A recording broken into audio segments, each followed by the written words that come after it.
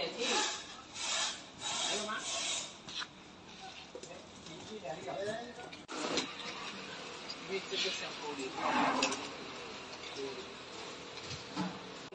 Kira tengok.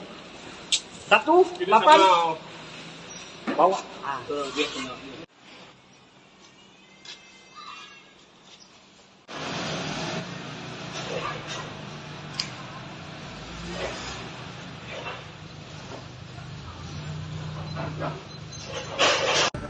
This is the EcoBrick prototype project. What is EcoBrick?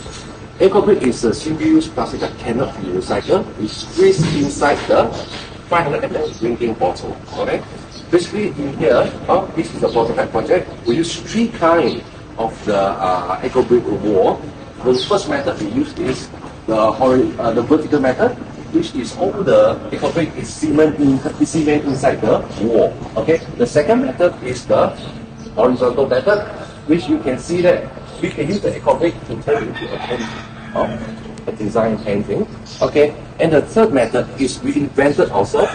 We use the ecobrick and we put inside a tempered glass. Okay, you can see here all the words and the color of the bottle same. Okay, each of the bottle represent one hope and wish. Okay, of the myriad. Okay, this look very very nice, and this is the wall that we collaborate. Uh, this is the first uh, first school that collaborate with us. With the SJKC Chonghua Myriad. We can see their contribution to the environment. They are from this ecobrick wall. We already recycle 125 kilo of single-use plastic recycle, 250 kilo of petrol reduced, 750 kilo of CO2 emission reduced. Besides the green wall, we can use the ecobrick to turn into a garden. Okay, this is a garden that we designed uh, with the ecobrick. Uh. It looks very very nice. Okay, and also we can use the ecobrick to turn into a structure, the outdoor structure. For example, like a bench here. Okay.